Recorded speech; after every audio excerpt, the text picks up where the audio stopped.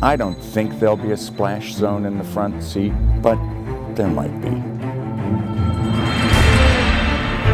There are times when you read a good book or you read a good play where you just feel like you're in the hands of a master storyteller. Ira Levin had an incredible sense of humor. You're laughing like it's a comedy, and then all of a sudden it turns on a dime. You never really know what's going on in this play until the end. And there's constant tussling and turnarounds. Deathtrap was a huge hit. You know, it ran five years on Broadway. That's unheard of for a non musical today. Sidney is very interested in magic. He's a collector of not only magic, but theater weapons and also antique weapons. The playwright calls for the set to be pretty covered in weapons. There's an opportunity literally on every shelf and every wall and every mantle for bludgeoning, stabbing, choking. It gets grisly. We'll see maybe 25 or 30 swords, spears, an axe, a mace, knives, guns. Then there are weapons involved that aren't traditional weapons. Chair, cabinet, telephone, fireplace instruments. You never can tell what's going to get picked up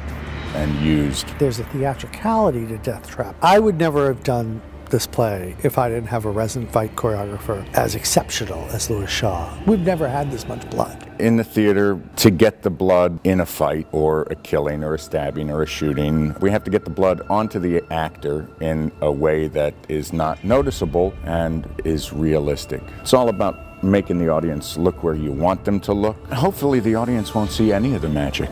They want to believe that these things are happening, and as long as you don't break the convention, they'll believe it. It's great fun. It's great fun.